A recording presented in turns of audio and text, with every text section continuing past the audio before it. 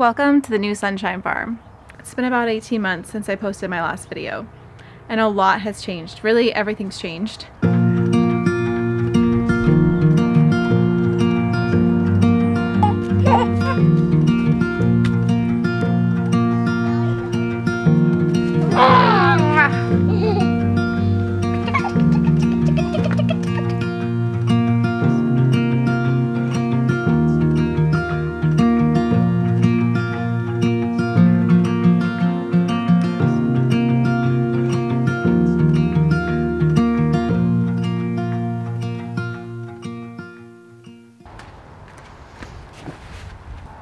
About two years ago, we came out to California to visit my sister and her family. She was expecting her second child and we wanted to meet the new baby. It was November, so it was becoming cold in New York. We came out, we stayed for about a week out in Southern California with Malachi, who at the time was um, about one. And we were outside the whole time. We were playing at parks. We went to the aquarium. We were at the beach. We were outside and it was November.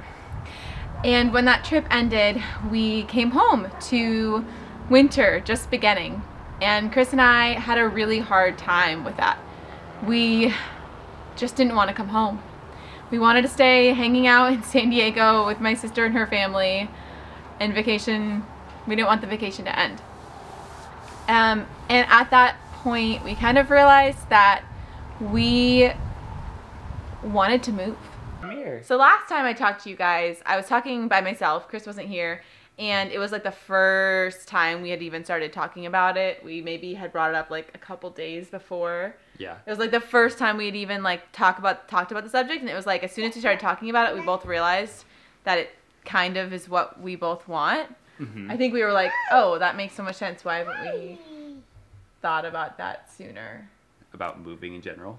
I think we both realized like we're more free than we think. Why are we like limiting ourselves to staying here longer than we want to? Yeah. I think well, with any of these transitions, they always seem pretty impossible to figure out the like the minute details of, and so it's easier to just put them off into this like arbitrary timeline or deadline, and to not deal with them as trying to make them realistic or as realistic as quickly as possible. Do you see camera? Can you Not say that- hi? I was trying to talk here, mister. Can you say hi to yourself? Do you want to move? Yeah. Yeah. Be 2022 could have a lot of adventure for us. So we're excited to just share what's next and bring you guys along the ride. So we had talked about moving. It was something we talked about every winter because uh, we both didn't like winter and it was about six months long in our New York climate. We had talked about saving, uh, saving money, paying off our house, and then selling our house and taking the cash from our house to buy something debt free. That was like our big long term goal, our 10, 15 year plan. But then the pandemic happened and our jobs became remote. The world really changed. The housing prices skyrocketed, and suddenly our 10, 15 year plan didn't make sense. It didn't make sense to wait 10 to 15 years to find where we wanted to settle and spend our lives. And then we had our son, and we really just wanted to find a place where we didn't ever picture leaving.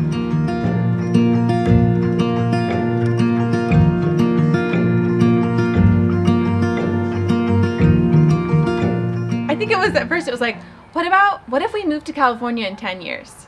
And then it was like, what about two years? What about what if it's our two year goal? And we got really excited about it. When you think about moving, it seems so overwhelming that it's like, oh well let's not even talk about that. It's too much. Like let's just stay. Just put an arbitrary timeline on it. Yeah, like 10 years down the road we'll move. Because then at that point, it's like, I don't know, like, I, I don't know what we were thinking really about 10 years. Because in 10 years, it's not going to be any easier necessarily to move. Because we could still have chickens, we could still have farm animals, still have horses. Like, Yeah. it might even be harder. Like, who knows? Yeah. Um, and I think we realized, okay, like, we were talking about moving to the Pacific Northwest, to like Washington and Oregon area, because I've just always loved that climate, loved that area.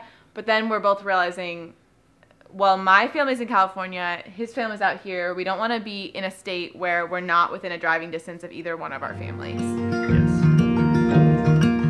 We started looking at different places we could live in California. Um, at the time, we were thinking places that were central, northern, Sierra Nevadas, places that were more affordable than Southern California. Okay, what did they say? Yeah. Yeah, like that. And where we could have land, like five acres of land or two or more acres of land and have a similar lifestyle. Be homesteading, be homesteaders. We knew we weren't going to have 12 acres. We knew that wasn't going to happen in California unless we picked a very remote area or a very, very affordable area.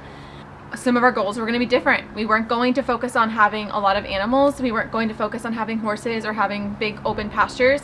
We were going to focus more on the garden because that's what I'd fallen in love with. That's what has made a difference for our family. And that's where our hearts were kind of leading us just started talking. We started looking at Zillow at places we could reasonably afford and we started dreaming about finding new jobs that were fully remote that would allow us to pick up our lives and move whenever we were ready. As we started talking and dreaming, we just got more and more excited about the idea. It was of course winter in New York, so it was easy to be excited about the idea of being somewhere warmer. Um, I think most people who live in the Northeast, who live in the cold climate, probably dream about being somewhere warmer. Whether it's a vacation or move, it's hard. It's hard to be in a winter climate for six months out of the year. It's hard to not have sunlight um, and be in cloudy days every day. And in our climate, we really didn't get a lot of sun. We would go weeks without seeing the sun, and that caused a lot of just seasonal depression, seasonal grumpiness, seasonal feeling just not excited to get up and enjoy the day. So how do we go from talking about moving in 10 years to picking up our lives, packing up our belongings, and moving to California nine months later?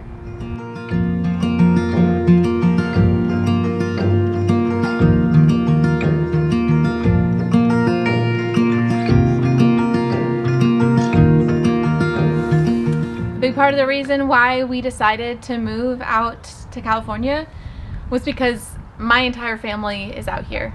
Um, my sister and her family, she is married with two kids, two young children, four and two. My brother, he um, is out in Los Angeles area. My parents are in the Los Angeles area and all my aunts and uncles and cousins are out here. I grew up in Southern California. I lived here until I was 20 and this is my home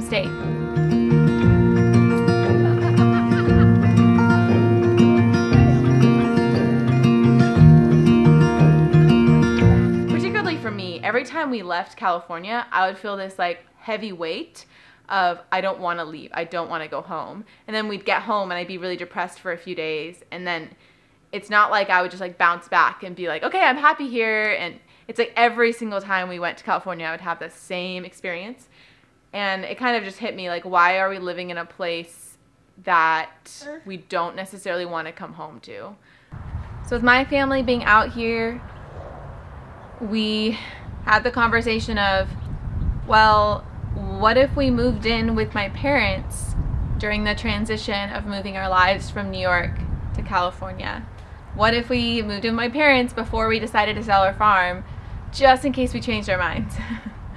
because as soon as the warm weather came around, as soon as the summer came, as soon as summer arrived and I started planting in my garden again and I planted the kitchen garden and I started harvesting and we watched the grass grow and the flowers bloom and felt the warm sun on our skin it felt really hard to let go of our New York farm. I was so in love with the life we had created there. I was so attached to everything we'd done. I loved our animals, I loved our gardens. The idea of saying goodbye to it, the idea of someone else owning it and it not being ours anymore was really hard for me. And so we kind of were like, wait, pause, maybe this isn't the best choice for us. As we were about ready to list our house in the middle of July, the housing crisis was kind of pausing, house prices were dropping, it was kind of a unpredictable time and we freaked out a little bit and said, what if we don't sell our farm? So, then what?